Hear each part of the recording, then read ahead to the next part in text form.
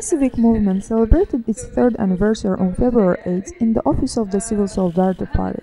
Opposition parties, leaders of National Council, and parents of jailed NIDA activists came to congratulate the youth. Former presidential candidate of joint opposition, chief of the National Council, Jamil Hasanli, spoke about the significance of the current youth movement, drawing parallel between today's Azerbaijan and Azerbaijan Democratic Republic, which existed from 1918 until 1920. During those years, thousands of youth sacrificed their lives for freedom of Azerbaijan. You are successors of their struggle, said Hasanli.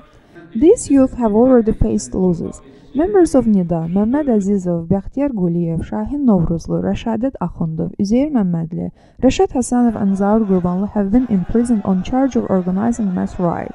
They and other members of the organization were participants of the protests prompted by non-combat death of the soldiers.